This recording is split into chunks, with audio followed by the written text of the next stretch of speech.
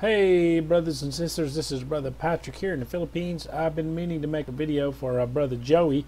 Haven't had a chance to make it. If you've been watching my videos, um, I made a video about, I don't know how long ago, about this uh, Gypsies of the Philippines. And there's a businessman here uh, who's actually from North Carolina, uh, Joey. And I'm going to put a link to his Facebook below here and his YouTube channel. Um, he's a businessman here in uh, in this area. He came from the states and he came here and sold everything he had and moved here. Um, he came here actually to uh, because he had met someone online, and then it ended up that it didn't work out. And then somehow he got involved with uh, on Sundays after church because he's a Christian. After church, uh, he started feeding these street kids, and then it just grew from there. And um, he started a school and all this kind of stuff with this the gypsies of the Philippines called the Bajaus. They're like the outcasts of the Philippines, and it's like everybody hates the Bajaus because they'll try to pick your pocket and they go around scamming people and and and they're you know um, and that's their reputation throughout the Philippines. Uh, and they're aggressive beggars. They'll you know they'll keep hitting you and trying to get money out of you, you know, pushing you and poking you, trying to get money out of you so it's like everybody hates them in the Philippines. So, but somehow, you know, Joey came here and didn't know that maybe, and somehow got in there with them. But, you know, the end result is is that Joey's been, you know, showing them the love of Christ. Um, he's helped some of them start businesses. He started a school uh, with them. He got some teachers, and uh, it's uh, because the Bajaus are a tribe, but they don't even have birth certificates or anything. They're a tribe, but they're not recognized by the government. Um, you know they don't have any representation and whatnot. So they're uh, you know they got a bad situation going on all around. Uh, and anyway, so Brother Joey had made this uh, learning center for them and all this other stuff. Helped some of them have businesses and whatnot.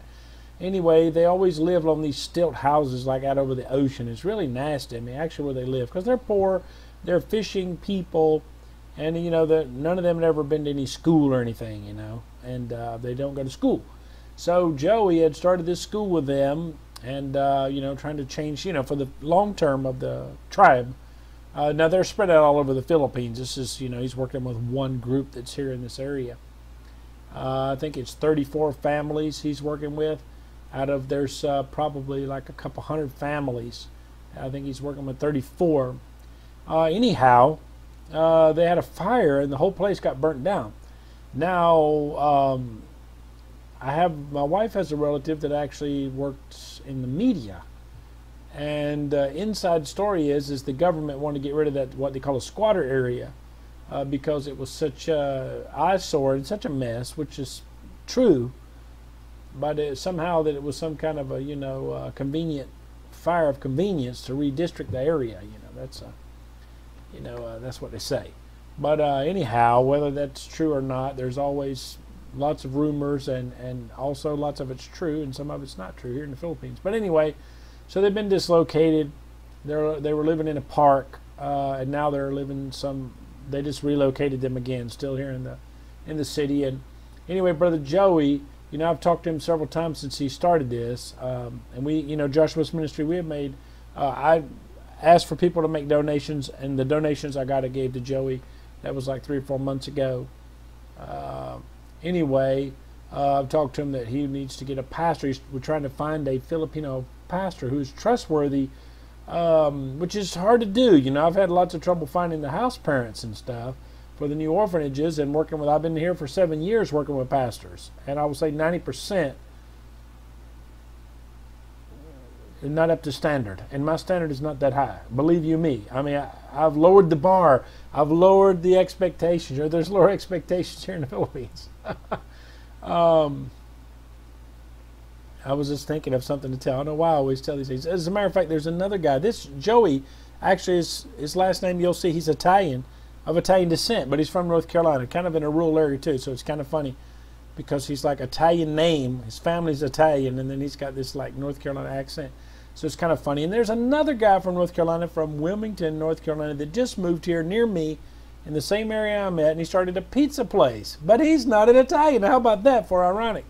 Um, this guy is a former pastor from Assemblies of God. He stopped doing the ministry for uh, lots of uh, reasons. I've been, you know, talking to him, and I'm sure that's why the Lord let us cross paths.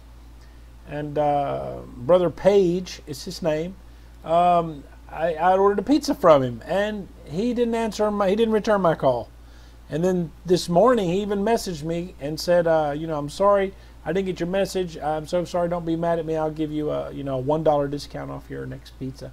So I ordered one today, and he brought it, and then he was worried that I was going to be mad at him, you know.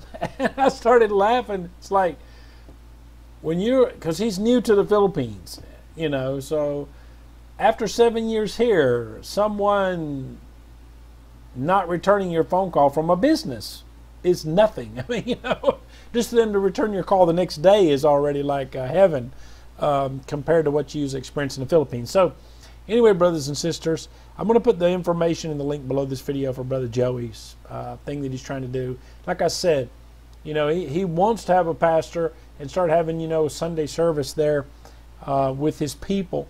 And, uh, you know, of course, he's already doing it a Christian uh, impact on his teaching because they're, they're, these uh, sect is supposed to be under Islam, but they're really nothing. But they're supposed to be part of Islam. But anyway, they're all open to it. He's been talking to them and stuff, but it's not like formally teaching them about the Lord. So we're gonna, I'm gonna help him find a pastor. So I ask you guys to pray about that. Anyway, the all the school was burnt and destroyed. Even all of the first, you know, most of these kids had never been to school. They couldn't even read and write at all. The first papers they wrote and stuff, and learned how to write their name. Joey had put it, uh, and the teachers had taped it to the wall, and all this. All that's been destroyed. Things that are irreplaceable. Um, Brother Joey's telling me there's some missionaries here in the Philippines from other places, you know, who have suddenly showed up and they've been raising money, even in New Zealand for these these bajaus. And then Joey said that he hasn't seen those people there doing anything. Uh, one missionary who's driving a brand new big, you know, escapade, Escalade or whatever, a great big, or maybe it's Escalade or Expedition or whatever, some great big truck, nice, you know, uh, sixty or seventy thousand dollar truck, showed up and handed out a few meals to any of the bad bajaus that were supposed to be Christians uh, because there is a, a church group that's been evangelizing some of them, a different batch in the same uh, squatter area. Um, so there are supposed to be some families that are being discipled by a pastor, but you know, Joey and I agree we don't want to work with those people for lots of reasons. We're trying to find a pastor that you know that will work with Joshua's ministry and be connected with Joey. We've been we've been talking about it, we just haven't done it.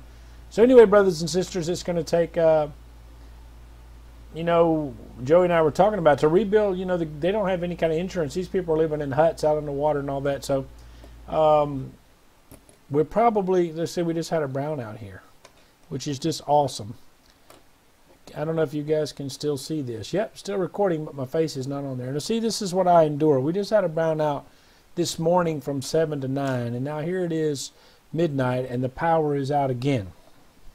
This is what I live with, brothers and sisters even in the area that I'm in, we never really had brownouts. That's one reason why I moved here because it's one of the only places in the Philippines where they don't have brownouts. Now, for the last two months, we've had brownouts for hours a day, and it's really getting beyond old. And uh, that's what I just go through. These little things are pretty tough to endure sometimes for the Lord, brothers and sisters. It gets old uh, with this kind of foolishness. But anyway, brothers and sisters, I'm just. Uh, I know my face, uh, my computer's not showing my face. I don't know if it's, but I see that the timer's still going, so I'll finish this up.